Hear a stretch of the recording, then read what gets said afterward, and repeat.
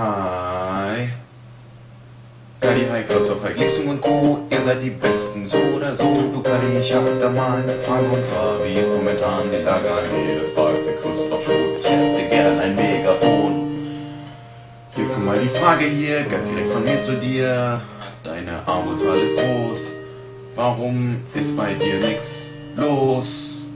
Ja, also meine Frage wäre, warum ist in deinem YouTube-Channel-Kanal in letzter Zeit ja immer weniger los?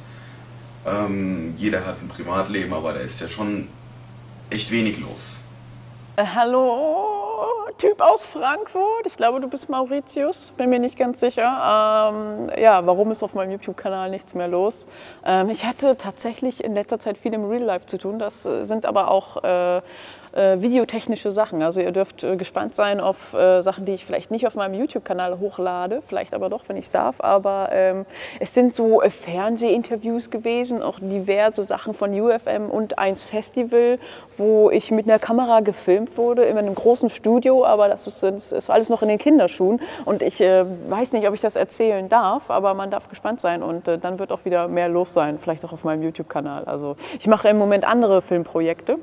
Ähm, ja, und äh, Uni hat mich auch ein bisschen gestresst und deswegen ist leider in letzter Zeit jetzt nicht so viel auf meinem YouTube-Kanal los gewesen.